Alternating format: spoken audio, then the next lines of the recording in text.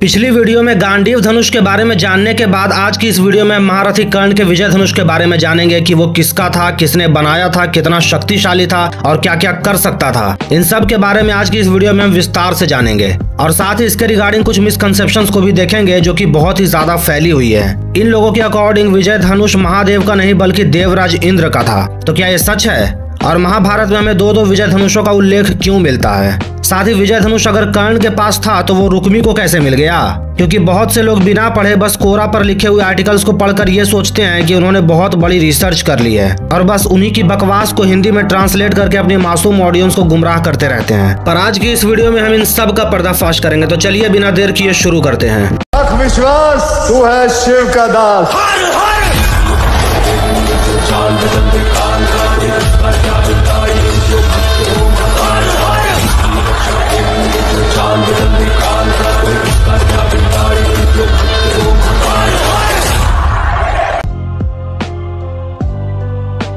तो सबसे पहले हम इस धनुष की ओरिजिन की बात कर लेते हैं तो ये धनुष कैसे बनाया गया इसका हमें कोई उल्लेख नहीं मिलता। पर ये तो एक अत्यंत ही पावरफुल धनुष था ना, फिर भी हमें इसका उल्लेख क्यों नहीं मिलता? तो देखो यार, एक कहावत हमारे यहाँ बहुत प्रचलित है कि जो दिखता है, वही बिकता है। और ये चीज़ यहाँ भी अप्लाई होती है। मतलब ये है कि पिनाक, शारंग और गांडीव जैसे धनुषों के बारे में हमें इतनी कहानियाँ इसीलिए मिलती हैं क्योंकि ये धनुष हमें इनके होल्डर्स के पास लगातार देखने को मिलते रहे।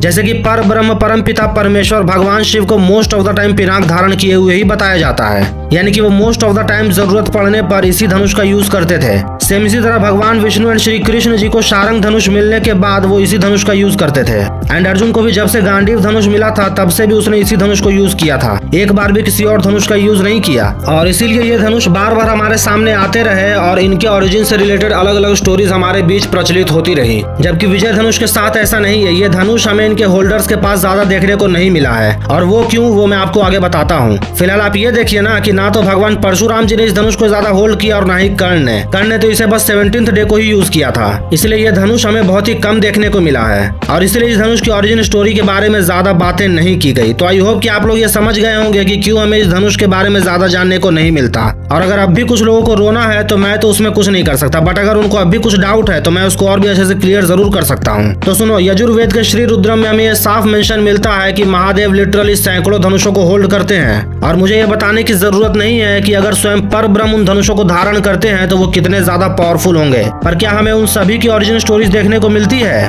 ऑफकोर्स नहीं यार, क्योंकि उन धनुषों के बारे में ज़्यादा बातें नहीं की गई हैं, क्योंकि महादेव ने उनको ज़्यादा यूज़ ही नहीं किया है, इसलिए हमें उन धनुषों की ओरिजिन स्टोरी देखने को नहीं मिलती। और ये भी कोई ज़रूरी नहीं है की हमें कैसे बनाया गया इसका उल्लेख मिल ही जाए। सेम इसी तरह विजय धनुष के बारे में भी हमें इसकी ओरिजिन स्टोरी नहीं मिलती, पर फिर भी जितना मिलना चाहिए उससे ज़्यादा ही बताया गया है हमें। और वो ये है कि कर्ण के पास विजय धनुष आया उसके गुरु भगवान परशुराम जी के द्वारा, और भगवान परशुराम जी को ये धनुष मिला उनके गुरु पर ब्रह्म महादेव से, जिन्होंने उसे खुद अपने हाथों से बनाया था। तो ये है विजय धनुष की कर्ण तक पहुँचने की जर्नी। और साथ ही हमें इस धनुष की ओरिजिन स्टोरी डिटेल में क्यों नहीं मिलती, इसका कारण भी। हालाँकि कुछ लोग कर्ण का ही एक स्टेटमेंट दिखा के कहते हैं कि विजय धनुष भगवान शिव का नहीं, बल्कि इंद्रदेव का था। तो ऐसा नहीं है, ये गलत फहमी दो धनुषों के सेम नेम होने की वजह से हुई है। नहीं समझे? कोई नहीं, अभी समझाता हूँ।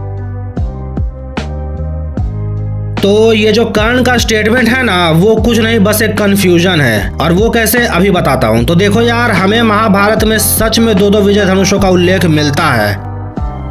अरे कहना क्या चाहते हो? एक तो वो जो कर्ण के पास था, दूसरा वो जो श्री कृष्ण जी के साले रुक्मी के पास था। अब ये लोग जो कर्ण के धनुष को देवराज इंद्र का बताते हैं, वो दरअसल कर्ण से नहीं, बल्कि रुक्मी से बिलोंग करता था। क्योंकि भगवान परशुराम जी को इंद्र से कोई धनुष वनुष प्राप्त नहीं हुआ था। जबकि महाभारत के उद्योग पर्व के अध्याय 155 के अनुसार, इंद्रदेव के पास जो विजय धनुष था, वो उन्होंने परशुराम जी को नहीं, बल्कि किम पुरुष ध्रुम को दिया था, जो कि सौभाग्य से रुक्मी के गुरु भी थे। और रुक्मी को उसका विजय धनुष उन्हीं से मिला था। तो देखा जाए तो रुक्मी वाला विजय धनुष देवराज इंद्र का था ना कि कर्ण वाला।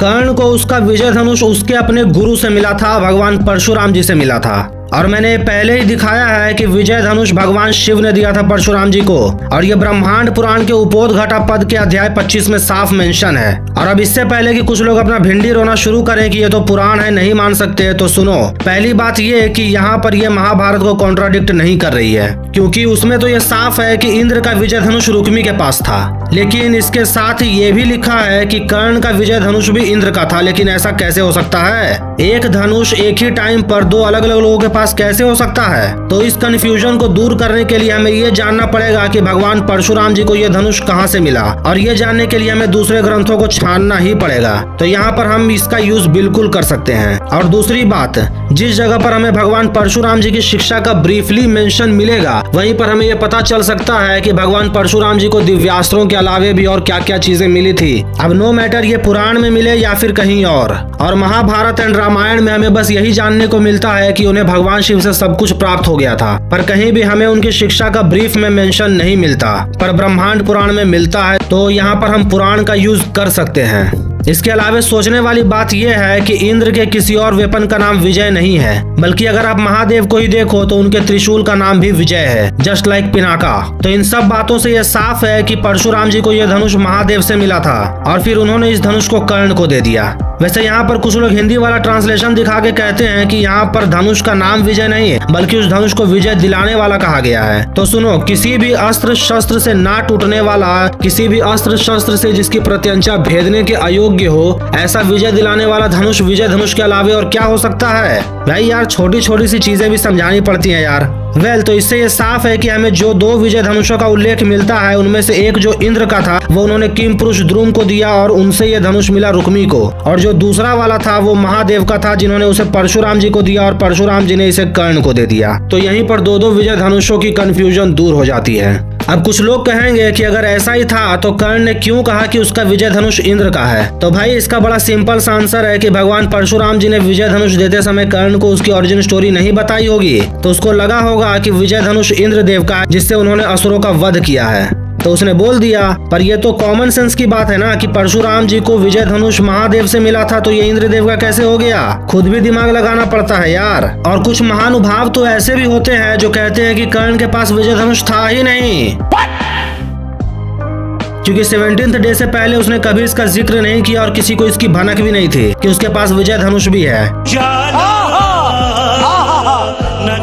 मुझे तो यार समझ नहीं आता कि क्या है ये लोग। अरे यार सेवनटीन डे तक तो किसी को भार्गवास्त्र की भी भनक नहीं थी, लेकिन जब कर्ण ने छोड़ दिया तो सबकी हालत खराब हो गई। और उसके मरने के बाद भी किसी को उसके अपार अस्त्रों के भंडार के बारे में भी कुछ खबर नहीं थी, जिसे उसने संसार की भलाई के लिए कभी यूज़ ही नहीं किए। अगर वेद व्यास जी ने ना बताया होता तो किसी को कानों कान खबर भी नहीं पड़ती। तो इसका ज़िक्र कब हुआ? नो मैटर ये धनुष कर्ण के पास था, ये प्रूव हो चुका है। तो ये थी उन दो दो विजय धनुषों की सच्चाई। तो चलिए अब कुछ और पॉइंट्स को भी देख लेते हैं।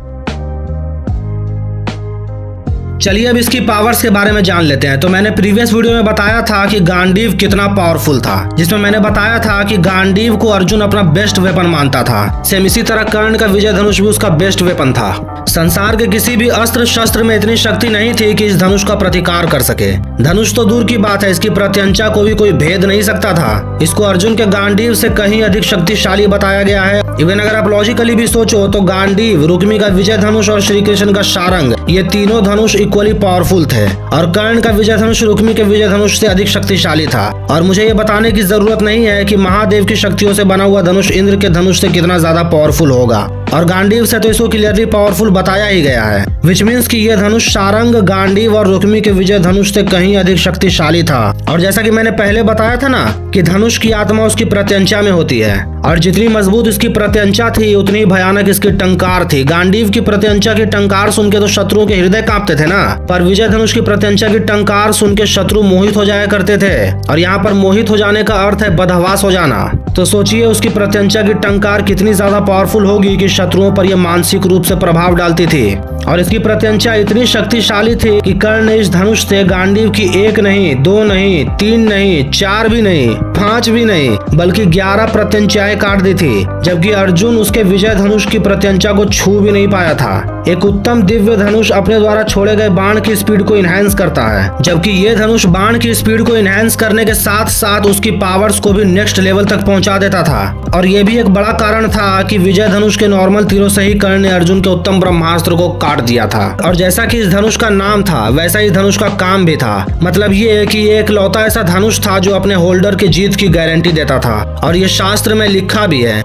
इवन कर्ण ने जिस मोमेंट से विजय धनुष का यूज़ करना शुरू किया था, तब से कोई भी उसका सामना नहीं कर पाया था। कुछ लोग कहेंगे कि भीम ने कर्ण को विजय धनुष के साथ हरा दिया था, पर ऐसा नहीं है। जिन लोगों ने मेरी ये दो वीडियोस देखी होगी, उन्हें ये पता होगा कि उस समय ना तो कर्ण के हाथ में विजय धनुष था और ना ही वो कोई डिफीट थी। और अगर इसका कारण जानना है तो मेरी ये दो वीडियोस देख लेना।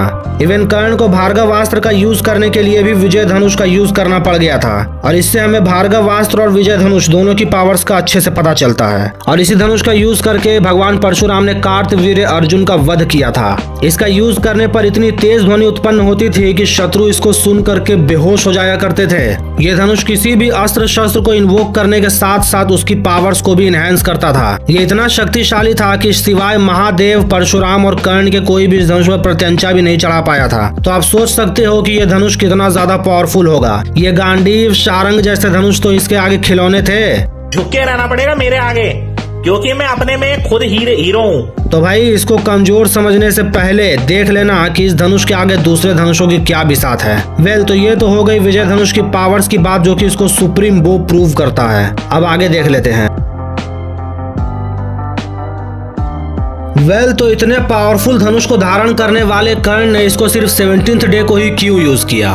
वो तो इसको बाकियों की तरह हमेशा यूज़ कर सकता था ना? पर उसने ऐसा क्यों नहीं किया? जा पूछ क्या? तो देखो यार इसके पीछे तीन कारण हैं। पहला तो ये है कि कर्ण किसी दिव्य धनुष पे डिपेंड नहीं होना चाहता था। उसको किसी धनुष से ज़्यादा अपने स्किल्स पे भरोसा था। इसलिए उसने कभी भी इसका यूज़ नहीं किया लास्ट बैटल से पहले।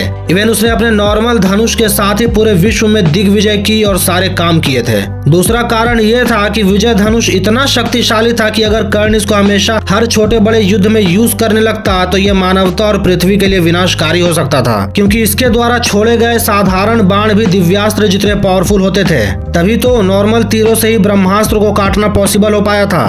ओ अच्छा! अच्छा! और अगर ऐसे में बार बार लगातार इस धनुष से दिव्यास्त्रों को समन किया जाने लगता तो वो ज़रूरत से ज़्यादा ही डिस्ट्रक्टिव हो जाते। और ये चीज़ आम लोगों के लिए विध्वंसकारी होती। दैट्स वाई कर्ण इतने पावरफुल धनुष का यूज़ नहीं करता था। एंड यही कारण था कि भगवान परशुराम जी ने भी इस धनुष का यूज़ बहुत कम किया। मतलब यार, ये ज़्यादा पावरफुल होना भी किसी आफत से कम नहीं है।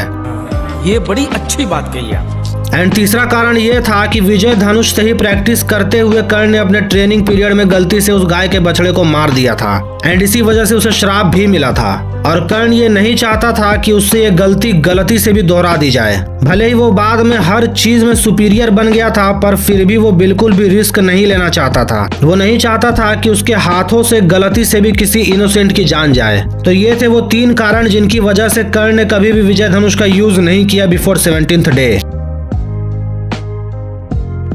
तो कुछ लोग कहते हैं कि विजय धनुष वही धनुष था जिससे पर ब्रह्म परम पिता परमेश्वर भगवान शिव ने त्रिपुर नगरी का विनाश किया था और परशुराम जी ने इक्कीस बार क्षत्रियों का सफाया किया था। पर ऐसा नहीं है, वो विजय धनुष नहीं था, बल्कि वो अजगव धनुष था, जिसे श्री राम जी ने राजा जनक के दरबार में तोड़ा था। और कर्ण के इस स्टेटमेंट का कारण मैंने पहले ही बताया ऑल्सो भगवान परशुराम जी ने इस धनुष को बहुत ही कम यूज़ किया था। तो ये वो धनुष नहीं था जैसा की लोग समझते हैं। और दूसरी मिसकंसेप्शन ये है की जो भी इसको धारण करता है, उसके चारों तरफ़ एक अभेद्य घेरा बन जाता था। पर ऐसा भी नहीं है, क्योंकि इस धनुष को यूज़ करते हुए भी कर्ण को कई सारे तीर लगे थे। तो ये पॉइंट तो यहीं पे रिफ्यूट हो गया। इसके अलावा एक और भ्रांति ये है कि कर्ण के इस विजय धनुष में एक ही प्रत्यंचा होती थी, और वो भी चढ़ी हुई होती थी। किसी को भी उस पर प्रत्यंचा चढ़ाने की ज़रूरत नहीं पड़ती थी। कुछ भी! कुछ भी। तो ऐसा किसी भी धनुष के साथ नहीं होता था। प्रत्यंचा कितनी भी हो चढ़ाना तो पड़ता ही है। इवन भार्गव अस्त्र चलाने के लिए भी कर्ण को विजय धनुष का यूज़ करना पड़ा था और उस पर प्रत्यंचा चढ़ानी पड़ी थी। तो लो भाई ये मिसकंसेप्शन भी यहीं पे क्लियर हो गई। सो so, आज की इस वीडियो में हमने विजय धनुष के बारे में सब कुछ जान लिया। उसकी ओरिजिन से लेकर पावर क्यों हमें दो दो विजय धनुषों का उल्लेख मिलता है और क्यों कर्ण ने सिर्फ़ एक ही दिन इसका यूज़ किया सब कुछ पता चल गया हमें। तो बस यार आज के लिए इतना ही। मिलते हैं ऐसी किसी और वीडियो में। तब तक के लिए हर हर महादेव नमः पार्वती पता शिव शिव।